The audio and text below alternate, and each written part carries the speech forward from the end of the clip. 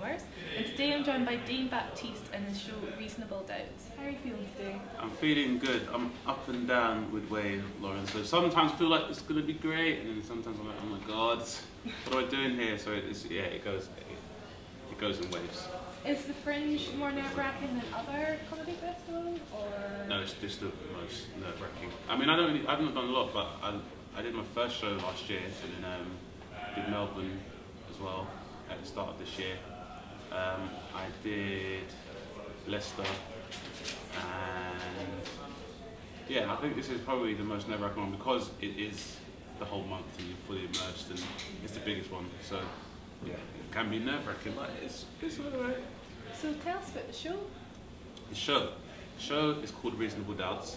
It's called Reasonable Doubts because it's about uh, last year's show going very well and me getting a nomination for Best Newcomer, and then it's just like following that success, dealing with is my second show, so it's like the sophomore jinx and the difficult second album, and you know that's part that's how it kind of starts off, and me thinking about doubts about as I pursue a comedy career now. Does that mean I'm sacrificing things like having a family and seeing friends and family and stuff, and then just and then you know normal doubts or rational and irrational fears people have, like you know, I afford a mortgage. Uh, be able to find shelter following the nuclear war, and you know, do I have enough corned beef to last me throughout that war, and then do I have enough weapon stockpile when the revolution comes? So this, you know, normal everyday stuff. If I go and buy, you know, go to Haagen Dazs and I get vanilla, do they look at me a certain way? But I know what I like, so it's just one of those things. So all those, all those things are covered. So is it quite a personal piece of comedy? You say like your most personal? I would say yeah. I would. I'm going to take a risk and say this is I. It's one of the most, this is the fav- most favorite piece that I've written because yeah, I think the first show was me introducing myself to the comedy industry as as as an act. So this this show gives me an opportunity to talk about stuff that kind of moves me. So it's about having a bit more of a mature voice. So talking about, like you know, it's a bit more social commentary and how I feel about the world.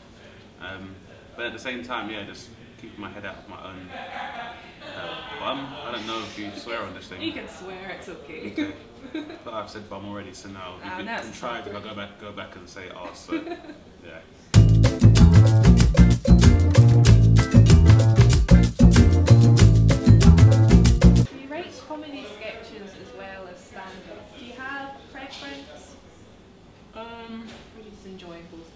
I enjoy both of them. It's like the different disciplines. So I enjoy writing stand-up and stuff because I, cause I understand it and I can, you know, I can convey it uh, in the best way because I know what I'm trying to say.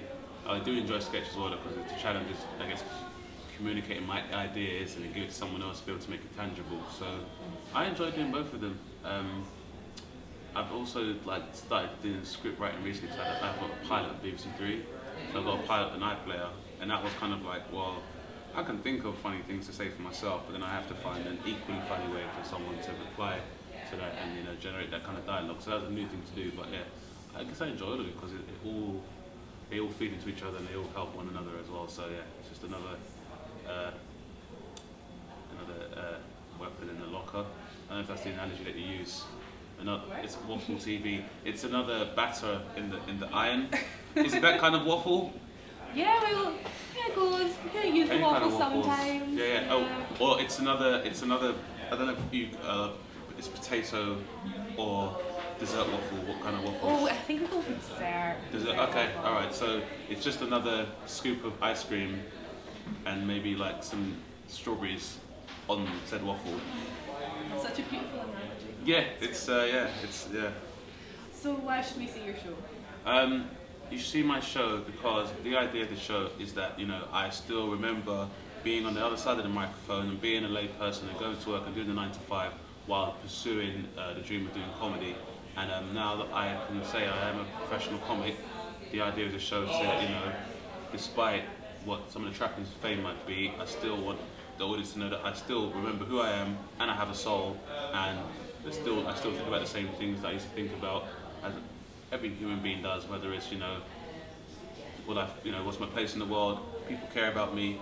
Uh, you know, is about is superbug going to come back, uh, which is you know, resistant to like most you know, antibiotic treatments. You know, all the normal stuff people think about is, am I going to wake up one day in a zombie apocalypse? So, if these things are things that you think about but are afraid to share with most human beings for fear of being, you know, put in, in a secure unit, then come to the show where I'll be taking a bullet and we're going to be discussing these things together.